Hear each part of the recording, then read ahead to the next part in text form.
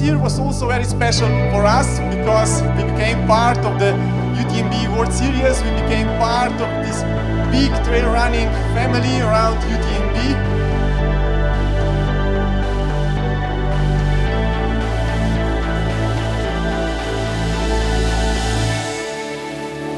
One of the very great thing in uh, trail running is that it's not a compete outside of a competition itself.